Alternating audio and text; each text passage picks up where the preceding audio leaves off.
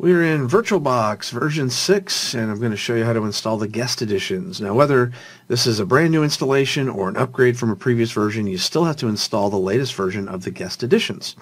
So you have to go to the menu at the top say that says Devices and click on Insert Guest Additions CD Image. Now if you don't see this uh, menu at the top, it means that you're in the wrong view.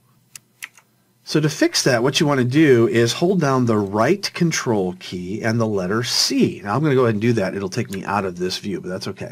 Again, and now my menu is back. So remember, it's the right control key and the letter C. That will get you your menus back. All right, once I've clicked on Devices, Insert Guest Addition CD, I click on my File Explorer, and then I click on this PC. Now I see a brand new CD called VirtualBox. So if you had a Windows ISO mounted here or something else, it will be replaced with this VirtualBox Guest Additions. I'm going to double click on it.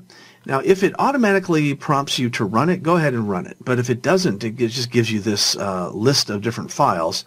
That's okay. Just click the third one from the bottom and double click on it or hit enter and it'll launch the right one for your operating system. So you don't have to guess which one is the right one.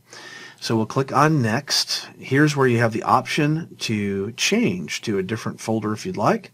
I'm just going to leave the default, and I'm going to once again leave the default and click Install.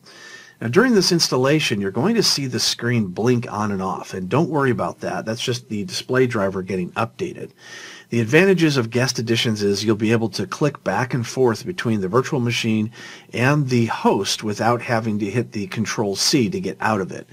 Uh, so it does give you uh, some advantage there. It also gives you better uh, video graphics as well. It allows you to change the resolution to be a much better resolution than you would otherwise be able to have.